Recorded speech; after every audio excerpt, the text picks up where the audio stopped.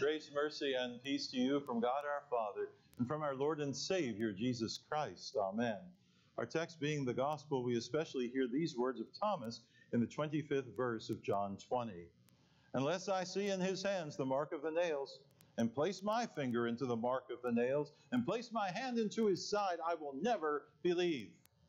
Here ends the reading of the text.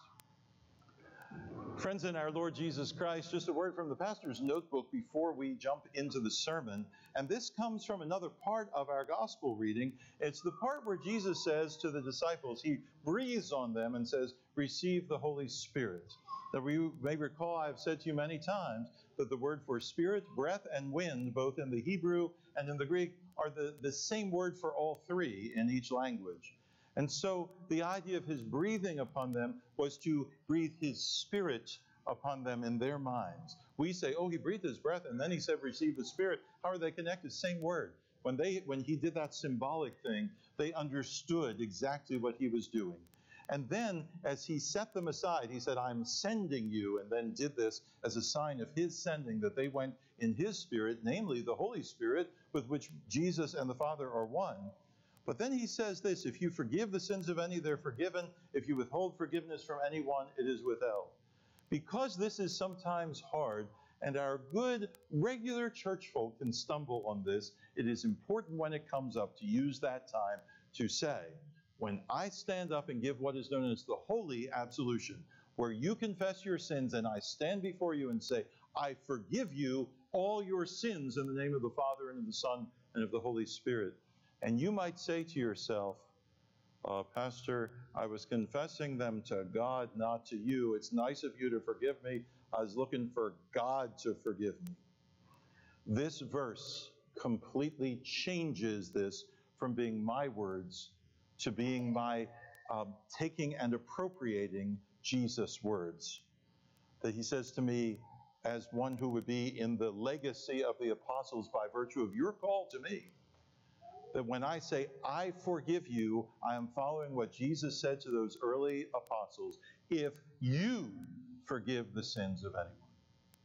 And there seems to be in us a need to hear God Himself saying, I forgive you. And when those words are said, we don't believe that Pastor Robertson decided whether to forgive us or not. He is being faithful to this confession and these words of Jesus and this calling. And you can be sure that as surely as you confess your sins, this is God forgiving you. Now, I did not die on a cross for you, and thus I am not the source of the forgiveness. I am what we call the mediate cause. A carpenter may have a saw and may saw a piece of wood. When the carpenter saws the wood, that's proper grammar. But we can also say the saw saws the wood. One is the source of the action, the other is the tool by which the action is done when the words, I forgive you all your sins, are spoken according to Jesus' command, He remains and will always be the source of that forgiveness coming to you. I am a mere tool in the carpenter's hand. So much for the pastor's notebook. We launch into Thomas giving some pretty fierce and ornery words regarding the Lord having shown up without him. And we talk today about doubt. There is doubt all over the Bible, but there are certain places of doubt where we see it specifically. We see a number of places, and I can't cover them all, but glaring at us in Scripture is miraculous birth doubt. For instance, Sarah, Abraham's wife, is told she's going to have a child. She just laughs because she's past childbearing age. But that laugh did not seem to be a laugh in faith, and God was not amused. Zechariah, a high priest, or a priest serving in the position that uh, he would serve for the offering of the sacrifice that day, becomes John the Baptist's father. But what happens? Gabriel stops him while he's there to offer the sacrifice and says, You're going basically to be the father of John the Baptist. And Zechariah again says, You know, how, how is this going to happen? And again, God disapproves and shows that uh, by allowing the Zechariah who just spoke those words of lack of faith, will not speak any words until it's time to name John uh, and the birth has already happened. By the same token, there's another kind of doubt which Abraham had shown when he was told he would be the father of many. When I read Abraham's uh, word, what he reacts and how Sarah reacts, I can't tell the difference. But the only way I know there is a difference is by how the Lord receives each of their responses. Abraham, we are told, believed God, and it was counted to him as righteousness. And then there's the Virgin Mary, who's minding her own business, and the angel Gabriel himself appears to her and tells her she's going to be the mother of our Lord. And when this happens, she says, How can this be since I have not known a man? And she is asking, it is a form of doubt. How, can, how can this happen? But she is asking to know God's will further, and we see God's approval in this way. The angel Gabriel stops and he explains to her, The Holy Spirit will be upon you, and you will conceive in your womb, and that which is born uh, will be uh, the, called the Son of God. And so she says, I am the Lord's servant. Let it be as you have spoken. And so we understand that there is doubt in various ways, some of which God works with, and other of, and seems to wish to discover more about God, and other of which God is not uh, approving. We look at another kind of doubt in Scripture, and I would point you to John the Baptist. John the Baptist preaches and he tells people to get ready for the Messiah to come, and all Judea, we're told, goes out people from the nearby foreign countries are filtering in, possibly Jewish believers from there, but in whatever way, seeking repentance. And they're baptized in the Jordan, they're confessing their sins. Jesus comes. The amazing testimony that Jesus is God with the Holy Spirit present and the Father speaking. John is witness to all of these things. He points to two of his own, John's disciples, to Jesus says, Behold the Lamb of God, which takes away the sin of the world. Here, John is assured that this is who Jesus is, and John keeps preaching the truth. And one day he preaches the truth to Herod and says, It's not right for you to be having your brother's wife and the way you are. And Herod's upset, and she probably got his ear and said, Don't let him portray me like that in public. And so John gets thrown in jail. And John's ministry is abruptly, his public ministry is abruptly over. He's not out there preaching by the riverside anymore. But at the same time, what happens is we hear him sounding discouraged and he sends his disciples. Now, some say John was doubting, some say the disciples were, and John sent them on a mission so that Jesus could calm those doubts. But one way or the other, there's doubt over in that section of the kingdom. And so the disciples of John come to Jesus and they say these words Are you the one who is to come, or should we look for another? And when they say that, what is happening is they are expressing, did we do all this for nothing? Are we, is this what God had wanted us to do? And then Jesus offers a reassurance in the state of doubt. And he says, Go tell John what you see. The blind receive their sight. Uh, the uh, lame are made to walk. The lepers are cleansed. The deaf hear. The dead are raised. And the poor have the good news preached to them. And they are reassured in their doubts. And so again, we look through the scripture and we see doubt as a kind of scoffing or unbelief, doubt as a way of wanting to know more about God, doubt in a way where it still seeks God and is really looking for reassurance. And so doubt in Scripture takes a number of forms and accomplishes another number of purposes. We love our Transfiguration uh, reredos, our triptych painting here on the reredos.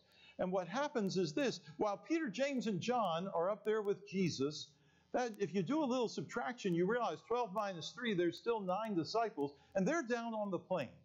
And they're busy ministering down there. They are. And meanwhile, Jesus is showing the glory of heaven as the disciples have never seen it. And uh, he's talking with Moses and Elijah, for goodness sake. And so it's time to come down from the mountain.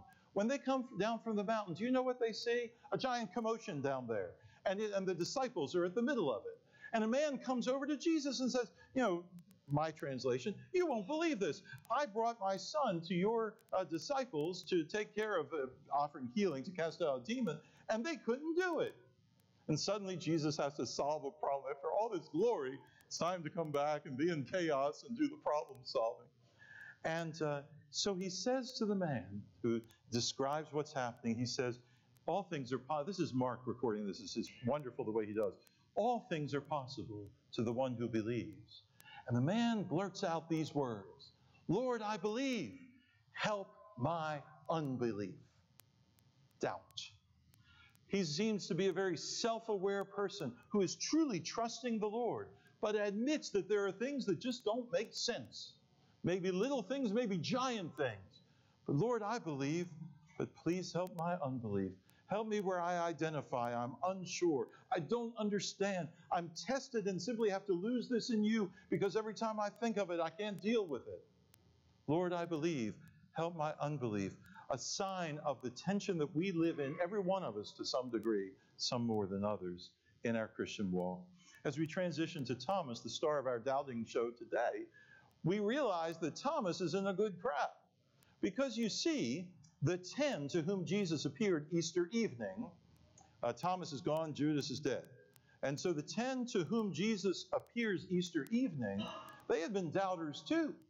After all, the women came back from the tomb and told the disciples, We saw an angel says he's risen, and they see this as idle talk.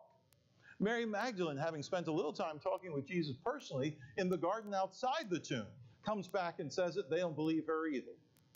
So tell me about who's the doubters here. If Thomas is, so are all the rest of them. And friends, I think I'd be right in that group. I'd be probably with most of you. Maybe some of you would have seen with the eyes of faith and believed just because someone else told you. But you see, I would have seen him die. I would have seen him extended and hanging on the cross. To me, the nails were too real and the blood was too true and his agony was too palpably felt. And when he bowed his head and breathed his last and gave his spirit up to God, I believe his death. But just because someone tells me they saw it, I'm not sure where I'd be in that crowd. I'm awfully glad to be born in this time when the witness of the church has been strong and the blessing of the Lord upon his church has been strong.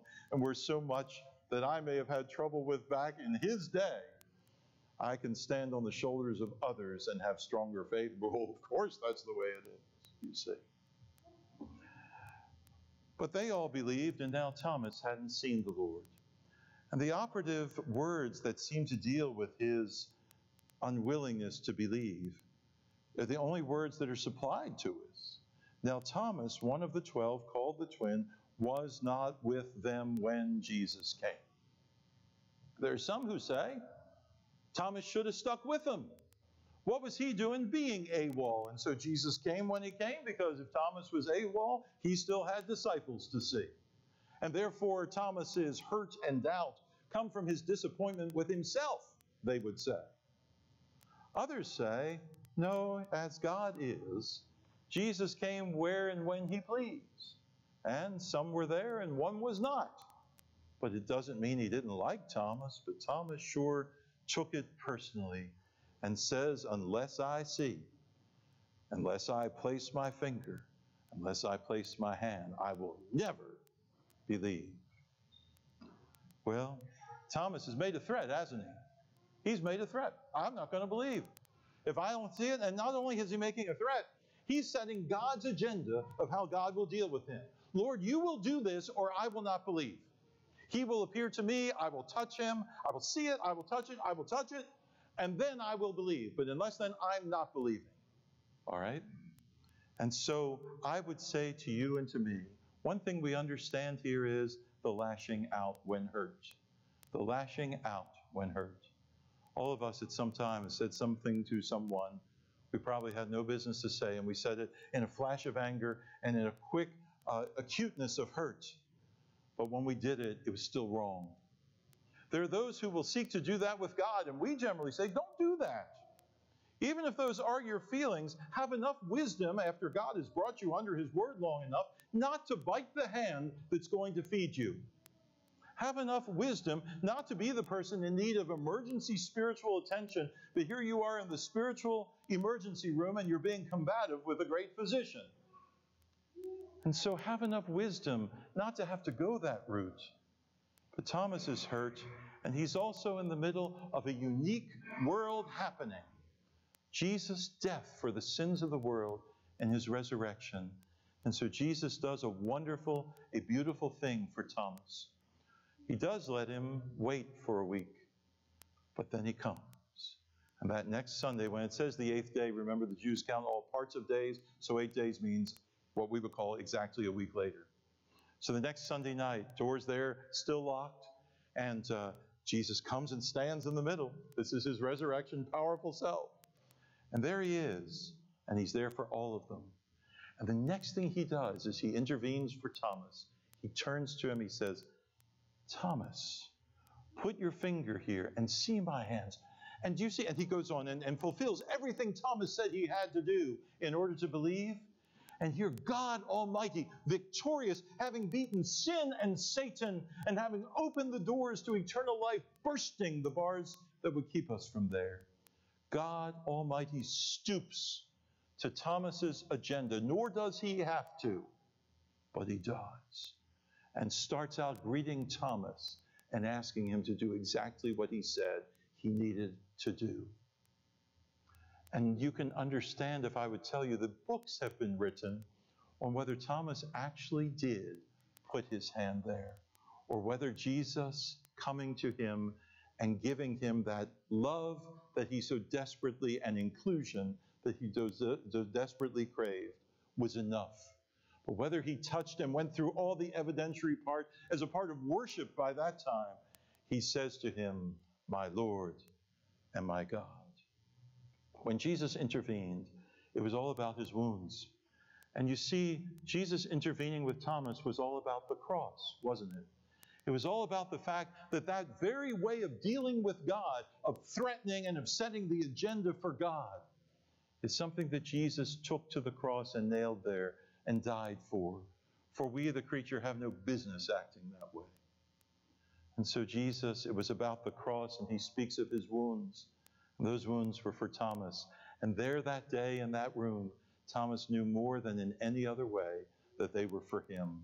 And so he speaks, My Lord and my God. That's what Thomas experienced that day. But for us, the same is true. For us, when we get our lives into chaos, when we start finding ourselves barking out orders to God, when we start being discontent with His leading or His care, it is at those times that our Lord Jesus, by His Holy Spirit coming to us and by His personal presence as well, intervenes intervenes on your behalf as he did for Thomas. I think by cataloging so many doubters in the scripture, we don't have to ask whether it's possible that we might be in that number. But we sure know that as surely as Jesus came for you, he came to intervene and change your life when you're in that bad place. He comes as a shepherd. I am the good shepherd. And he comes to you to intervene. And it's about the cross because the shepherd offered himself that the sheep may not be attacked by the wolf. He comes giving something called forgiveness. We read in our epistle that the blood of Jesus Christ cleanses from all sin. And if you are home and you're reading this in your devotions, I hope you don't just read it as a task to get through it. I'd rather you read a few verses and meditated them on them and save the rest for another day. But if all you saw was those words, the blood of Jesus cleanses us from all sin, you notice that word cleanses is in the present tense. It denotes a continual action. And the continual action of cleansing, the blood of Jesus Christ, friends, cleanses you. So you who are given baptismal grace, you who receive Jesus himself and his body and the blood of, of the cross at the altar, as he intervenes in that way, that beautiful way. In every way, when he's intervening, it's always about the cross. It is for you, and it involves his forgiving, restorative love. So it is that when he says, I am with you always, you can count on that baptismal promise. So it is that when we understand that he is praying for us, we read again, if you read these, you'll find he is. We have an advocate with the Father, Jesus Christ the righteous. He's advocating for you how? On the basis of his cross. There is a child of mine. There is a child of yours, Father. There is one for whom I died. And no matter what the accuser says about you, no matter how terribly you portray yourself, it is Christ's advocacy and forgiveness from the cross which lifts you up. So you'll go forward this day. And as you go forward this day, You will go out and about into the world. You'll go out into your family. You'll go out among those who may not be your fans. But you will be praising God, much as our psalm said, by being the you that God made you to be His child by creation, His child by redemption.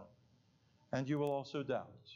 You will have questions, and you, as in a long line of believers, will doubt. But when you do, some of those will get you God's disapproval, and He'll bring you back into shape as God the Holy Spirit reproves your heart and conscience. Others will be God's way of helping you know Him more greatly, and He will teach you from His Word as you stay in the Word each day. Other times, the world will seemed to have gotten the best of you, and your body may be sick or ache, and you'll be looking for reassurance, not that you've ever lost it, but just you could use some assurance as John in prison. Other times, you'll just know yourself to be one who deals with belief and unbelief, but in the relationship, it's belief that defines it. So as you go forward, may God bless you and give you the knowledge that if Jesus would deal with Thomas through the week, he will be intervening in your life and continuing to love you and to count you in, even when you thought you'd been counted out. Amen. May the peace of God, which passes all understanding, keep your hearts and minds in Christ Jesus. Amen.